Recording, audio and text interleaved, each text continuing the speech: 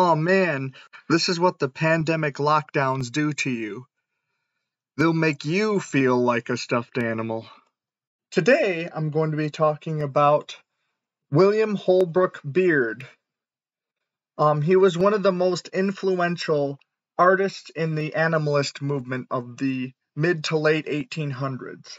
This wasn't just an art movement, this also included literature such as Beatrix Potter, the one who wrote Peter Rabbit. William Holbrook Beard was born on the 13th of April, 1824. Uh, he died on the 20th of February, 1900. He was born in Painesville, Ohio.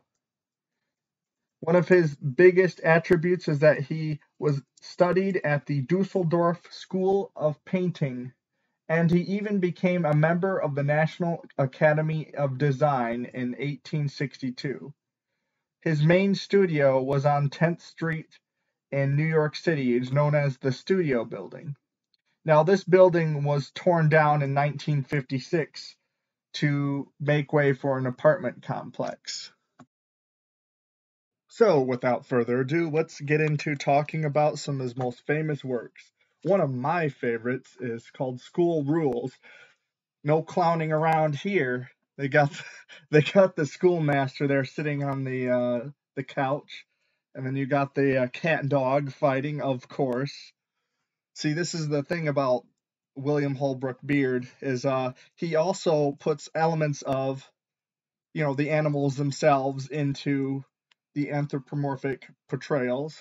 So you of course got the fox in the middle, looking nice, looking nice. They got the fox and the bear. You know they're probably sorry for breaking whatever is on the floor. One of the interesting things that I noticed is the guy on the end. I'm not sure if he's a woodchuck. I'm not quite sure what he is, but he's wearing what are, what are called ruffs. You know, like a double ruff around the neck. Now, this painting was done in 1887, so that style of dress was very old fashioned even for this time period. The next one is The Dancing Bears this one is kind of kind of funny because it's like you know they're having a big party. They got all the bears dancing. it's ridiculous. Playing like a trumpet or something, bugle, drum, something or other. It's just a big party. That's all I can say. The next one, and one of the best, is The Bulls and the Bears. New York Stock Exchange, you can see right there people are always going on about their stocks. Is it going to go up today? Is it going to go down today? You got the people that are very pessimistic and think it's going to crash. You got the people that are very optimistic, think it's going to keep going up. So, what better way to depict the craziness of the stock market than having the bulls and the bears slug it out?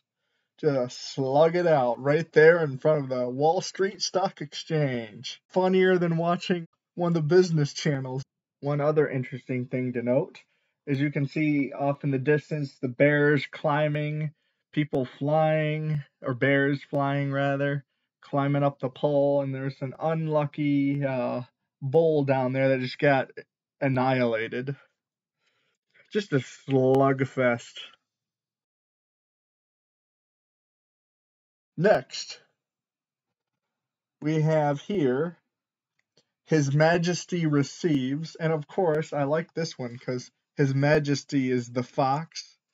You got all the rabbits there talking to His Majesty, the fox. I don't know if they realize it there, but only it looks like he's wearing an ermine coat because you can see the little dots there, which is ironic because it's an animal wearing another animal's hide. I like how his characters are well dressed. They have, you know, very nice looking nice looking coats and things like that. I find that to be really cool. How they're dressed. It's it's so so fancy. Professional should be the word. Next. And the final one here is Who's Afraid? this is some hardcore outfoxing going on in this one right here. Um, I believe this one is in a private collection because I saw it on a fine arts website. But you got here, see what better way for the fox to get the rabbits when they take the foxes when the fox takes the rabbits lunch. what are you gonna do now? You got outfoxed. yeah, who's afraid? Instead of who's afraid of the big bad wolf, it's who's afraid of the fox that took your lunch.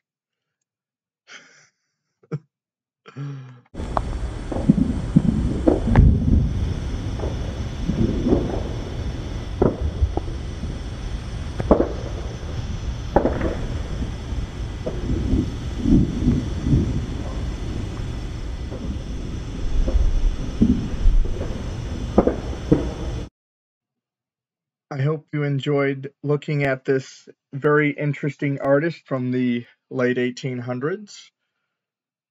I hope you enjoyed this video. If you like this video, don't forget to like, comment, and subscribe. And you have a wonderful day. Okay. Thank you for watching. Don't forget to like, comment, and subscribe.